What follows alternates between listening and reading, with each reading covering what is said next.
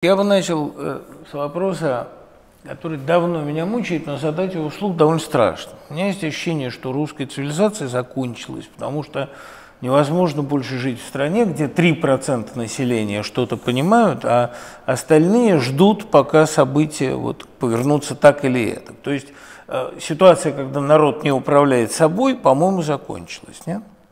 Э, несомненно, э, российскую цивилизацию, русскую цивилизацию подкосили э, те события, которые происходили там в 20 и в начале 21 века.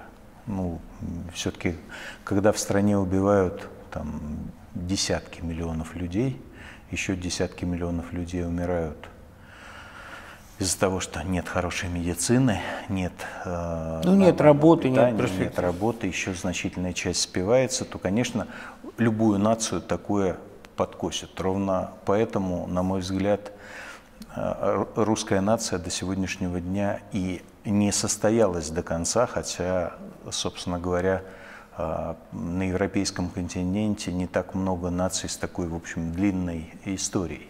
Я думаю, что рано ставить крест. А, у нас очень мощные корни. У нас очень мощные европейские корни. Мы плоть от плоти, часть европейской цивилизации.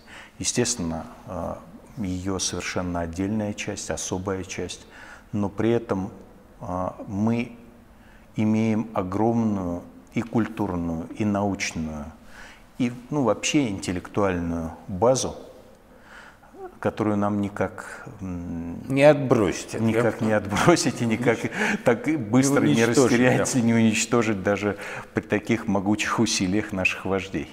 Ну, посмотрите, вот при нынешнем состоянии общества, вы с этим обществом готовы как-то работать? Как вообще иметь дело с нацией, которая приведена телевизором ли, отсутствием ли выборов? Вот такое состояние. Мы находимся внутри одного, наверное, можно так сказать, культурного кода – мы можем между собой разговаривать и договариваться. А раз это возможно, значит, с этими людьми а, вполне можно а, и работать, и строить другую жизнь. Ну, работать можно, но чем вы объясняете их жуткую историческую пассивность, политическую пассивность? Почему они не включаются в управление страной? Все-таки было бы желательно, чтобы она решала свою судьбу. Нет? Нет? Слушайте, когда на протяжении ста лет у вас тех, кто включается, убивают, вне зависимости от того, с э, каким знаком включаются, потому что, как мы теперь знаем, тех, кто включался со знаком НКВД, убивают. Тоже, свои же, еще чаще. Еще чаще. Да? То есть, э, когда людей на протяжении 100 лет убивают, потом сажают, потом высылают э, за то, что они начинают принимать участие в общественной жизни, ну, вы поймите, конечно, их не так легко вернуть обратно к пониманию того, что они должны отвечать за свою судьбу сами.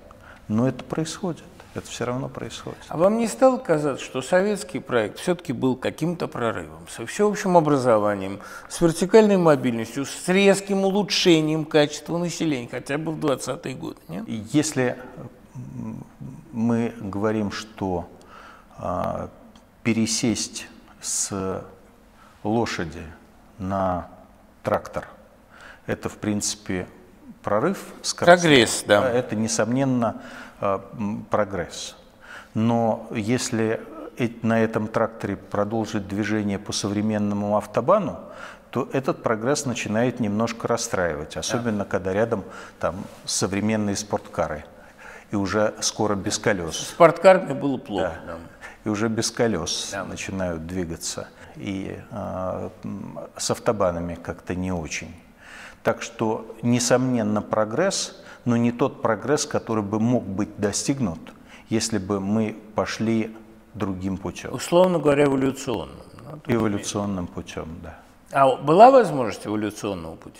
Я думаю, что э, она была, и то, что она не наступила, к этому было определенные объективные предпосылки, ну, если объективными предпосылками можно считать историческое прошлое, но еще больше субъективных причин люди просто не смогли договориться. Но есть национальные проблемы, которые необходимо решать вместе. И в этот момент необходимо объединяться. Как сделать так, чтобы не растерять а, и эту молодежь, и эти настроения? Потому что есть шанс, что люди просто перепугаются. Вы сейчас довольно опасный собеседник. Я вот даже не знаю, как я после встречи с вами поеду в Россию, что у меня там ждет. Слава Смело. Богу. Смело вы? Нет, спасибо, да. Та задача, я бы сказал бы, краткосрочная задача, которая перед нами стоит. Это, это адекватные выборы. Это адекватные выборы, это убедить людей, что Путин – это не тот человек, который должен идти на четвертый срок, что для страны и, к слову, для самого Путина это будет плохо. Я считаю, что сейчас Путин еще может на самом деле задуматься и принять разумное решение. Сделать шаг, который позволит стране развиваться нормально. Просто не пойди на выборы. А помимо этого делай что угодно. Там, э, найди какого-нибудь себе преемника, выстави его, так сказать, на выборы, еще что-нибудь. Но это будет уже шаг в правильном направлении. Вы знаете дежурный аргумент, что Путин последний, что удерживает страну. А иначе немедленно распад или нацисты, или вы, или, или ну, я не знаю, ну, пиндосы проклятые. Ну, то есть люди уверены, что Путин последний, на чем может удержаться Россия. Это немножко, знаете, это немножко странно. Я не хочу сказать более грубых слов. Немножко странно. Ничего с Россией не будет. Да? А она просто может либо развиваться быстрее, либо медленнее. Люди могут там жить либо комфортнее, либо хуже. Да? Вот сейчас мы видим там с 2014 года люди каждый год живут хуже. Да? Это очевидно. Это очевидно. Но это значит, и мы все с вами знаем большие политические циклы по 15 лет. Вот Путин в эту теорию вписался идеально. Да? Да. Вот 15 лет с плюсами, минусами у него шло более-менее, а потом все посыпалось. Слушайте, ну, может быть, не стоит экспериментировать против своей же истории, да? Ну, просто поменяйте человека. Ну, видите, старый лозунг, если не Путин, то кот, да? Если не Путин, то кто? Кот был бы лучше сейчас, мне кажется. Но, тем не менее, что может быть вместо Путина? Ясно, что Медведев уже... В мире выработана модель для крупных стран. Вот Россия большая страна. Для нас нет альтернативы парламентской, ну или для начала а, президентско-парламентской республики, потому что большая страна – это значит много разных групп, которые должны между собой договариваться. Невозможно одному человеку удержать в голове интересы людей, 140 миллионов э, человек, э, расположенных на огромной территории с разными, разных по этническому составу, разных по климатической ситуации и так далее. Да, невозможно. А они удержатся? Я убежден, что да. Вот, э, ведь базовой э, скрепой для нации на самом деле является культура. А в культуре одним из основных факторов является язык. Язык, да. Слушайте, вот проблема. А о чем они думали в 2014 году, начиная украинскую ситуацию? Мы все понимаем, что это сейчас проблема номер один. Если мы не выйдем из этой войны, никакой свободной России вы не построите. А, Путин, как мы с вами э, догадываемся уже, абсолютно не стратег. Он решает тактические вопросы. Каков был вопрос? А, тактический вопрос, который у него был на подкорке, может быть, он не отдавал себе отчет в том, что он решает именно этот вопрос, это падение уровня популярности. Вот если мы посмотрим социологию за эти годы, мы увидим, его популярность падала, а для него это ключевой инструмент да. для того, чтобы балансировать э, с силовыми структурами. Да. Вот у него популярность падала, он нашел это решение в э, военном конфликте с э, Украиной. Э, мы знаем на самом деле, что объяснял он это по-другому. Объяснял он это, что если бы мы не заняли Крым, то ну, завтра там были завтра бы, там были бы американские, американские подлодки. подлодки. Слушайте, ну, смешно слушать, да, вот смешно слушать. В этой, я извиняюсь, я никого не хочу обидеть, но в этой луже шириной в 300 километров, которая теперь простреливается ракетами с одного борта в другой, да? Какие, какой флот, какие подлодки, о чем мы вообще говорим? В современной стратегической э, ситуации значение э, Черноморского флота близкое к нулю. Я не скажу ноль, но близкое к нулю. Поэтому здесь, я убежден, имел место только один реальный аргумент, о котором, собственно говоря, э, я и сказал раньше. Это подъем, подъем популярности. Вот он его и преследовал. Но у вас нет ощущения, что идет явная эскалация военной напряженности? Сначала Крым, потом Донбасс, теперь Сирия. То есть он ищет шансы ввязаться в большую войну? Ну, он, он попал в спираль, спираль, из которой невозможно выбраться. Ему каждый раз надо стимулировать общество все более сильными раздражителями. Истерики все больше, да. да. И, а, а общество-то устает. Любой человек, э, когда ты на него давишь, он устает от этого давления, он его перестает просто воспринимать со временем. И да, ему нужно будет либо откатываться к прежним уровням популярности, что будет для него политическим крахом, либо ему нужно продолжать военные конфликты, э, которые в условиях э, пришедшего к власти Трампа... Да, могут стать крахом более серьезным. Могут Причем стать... всемирным, да но я надеюсь на то, что все-таки он человек э, не безумный. Э, в, во внеядерном противостоянии у 140-миллионной страны с, э, с ВВП в районе там, 2 триллионов долларов шансов удержаться нет. Инфраструктуру страны за эти 17 тучных лет они не восстановили. Не восстановили. Соответственно, она все та же самая хлипкая советская инфраструктура, только постаревшая там на два десятка лет. Ее размолотят в одну секунду. И э, я, я надеюсь, что он это понимает. Если не он, то каким вам рисуется преемник и, главное, его первые шаги? Что надо делать, чтобы выйти из спирали? То, что необходимо, это то, ради чего, собственно говоря, создавалась «Открытая Россия», это переходный период, в течение которого мы э, должны провести политическую реформу и создать систему сдержек и противовесов, разрушенную, и это противно признавать, но разрушенную Борисом Николаевичем Ельциным в 1993 году. Вот эту систему сдержек и противовесов надо восстановить. Независимый суд – а, влиятельный парламент, имеющий возможность реально контролировать бюджет и реально проводить парламентские расследования, и исполнительная власть. На сегодняшний день в руках э, центральной власти собрано слишком много полномочий. Слишком много. Она с этим объективно не справляется. А то количество денег, которое она собирает со всей страны, создает у нее ощущение, что можно, что их бесконечное множество. Вообще и, много. Да, да, и что можно, так сказать, делать, что хочешь. Да? На самом деле страна-то нях какая богатая.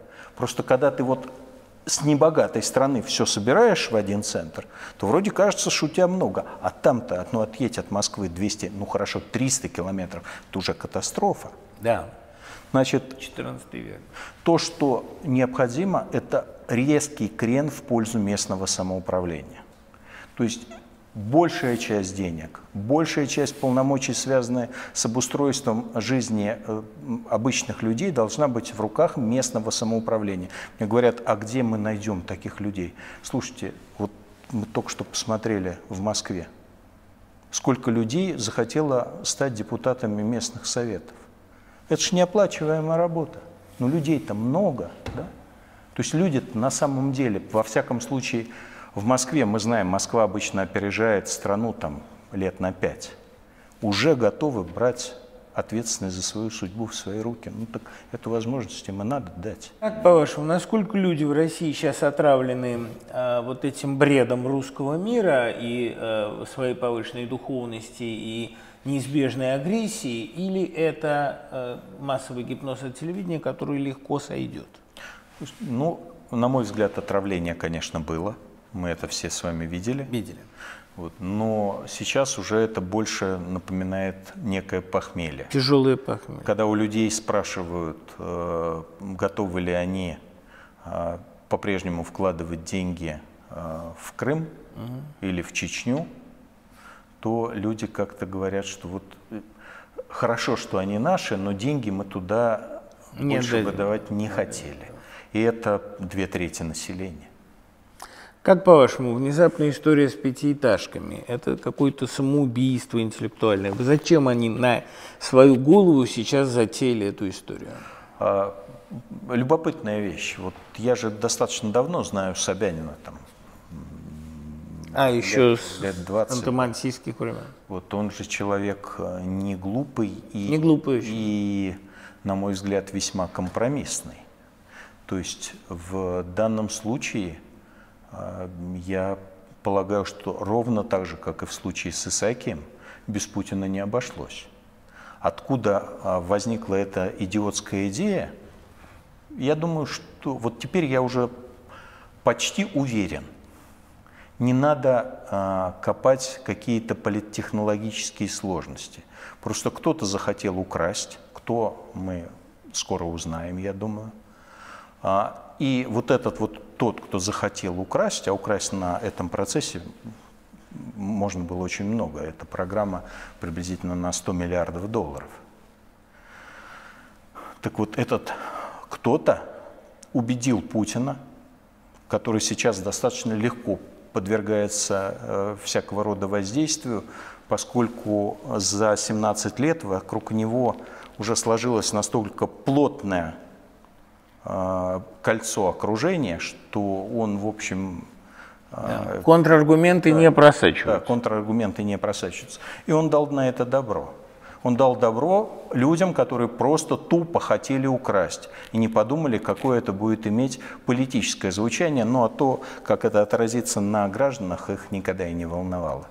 И какая здесь перспектива? То есть получим ли мы общество рассерженных горожан? Э, я полагаю, что Собянин постарается сделать шаг назад. Еще раз я говорю, в моем представлении он человек достаточно компромиссный. компромиссный. Вот, но э, он прижат к стенке, без всякого сомнения. То есть те люди, которые на этом контракте, как мы понимаем, хотели украсть и хотят по-прежнему э, суммы в несколько десятков миллиардов долларов, то есть я думаю, что речь идет о 30-40 миллиардах долларов, а, это стоящая сумма. Да, это люди, которые не дадут ему отступить слишком далеко. Чеченская проблема, которая сейчас для многих стоит на первом плане. Какие ваши ощущения? Какое здесь будущее? Насколько Кадыров верный вассал? И можно ли в случае чего рассчитывать на чеченскую гвардию в центре Москвы? Я подозреваю, что э, Кадыров осознает, то без Путина ему выжить будет очень трудно. Практически невозможно. Ну, то, что он сделал в Чечне, я думаю, что э, тем сотням тысяч российских граждан, которые там живут, ну уж совсем не нравится. А его гвардия, которая на самом деле составляет порядка 20 тысяч человек, ну 80 тысяч там всего силовиков, а, порядка 20 тысяч это его гвардия, порядка 5 тысяч тех, кто готов действительно драться, потому что они знают, что за те преступления, которые они совершили... Деваться некуда. Да, деваться некуда. Ну вот я думаю, что эту а, гвардию разметают в одну секунду, если и когда Путин уйдет. Поэтому Кадырову надо отделиться до этого момента, ну либо бежать. В какой степени возможен в отдаленной перспективе договор Путина с оппозицией «я спокойно ухожу, вы спокойно приходите»? Я думаю, что э, Путин человек тоже э, не исключающий компромисс. Вы думаете до сих пор? Я до сих пор в этом, я это думаю, и я в этом уверен, но он понимает компромисс только... Когда силовой. он его предлагает, да? Только силовой. Какой нужен спусковой крючок, чтобы ситуация дошла до этого компромисса? В какой ситуации он на него будет готов? Я думаю, что э, если на, он пойдет на эти выборы, если он пойдет на эти выборы, и если на этих выборах он не наберет 50% голосов, э, то есть 70 от 70, то есть 70 от 70, то это будет для него серьезный сигнал. Неважно, даже если ему их нарисуют, Но объективные что... данные он получит. И он получит объективные данные. Я абсолютно убежден, что, что на, наше общество тоже получит объективные данные в конечном итоге.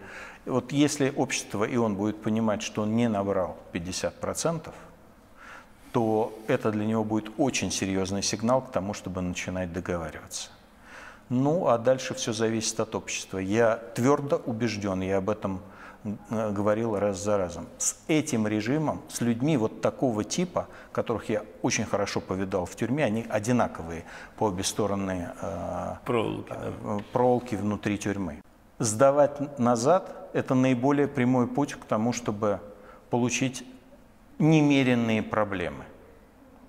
Идти вперед, требовать своего, добиваться уступок и двигаться дальше – до тех пор, пока в стране не будет нормальная гарантированная демократия, то есть разделение властей, а, нормальные регулярные выборы, нормальная регулярная сменяемость власти. Вот до этого идти вперед каждый день. Известно, что Путин осведомлен о ваших личностных качествах, умении играть в долгую, как вы говорите, и так далее. Вам теперь стало понятно, почему он вас отпустил? Потому что это остается загадкой. А, я по-прежнему считаю, что это было а, абсолютно исключительным стечением обстоятельств. А, там было много входящих факторов, но главный среди них был тот, что находясь на гребне волны, в тот момент Путин находился на самом гребне волны. Перед перед падением, он не видел этого падения. Он считал, что он теперь на этом... Что это навсегда. Этот гребень навсегда, и можно а, не опасаться а, каких-то мелких брызг из прошлого. Ну и напоследок, вы для себя совершенно исключаете участие в управлении страной как-либо? То есть у вас нет политических амбиций в этом аспекте? Для, э, я перед собой вижу конкретную задачу.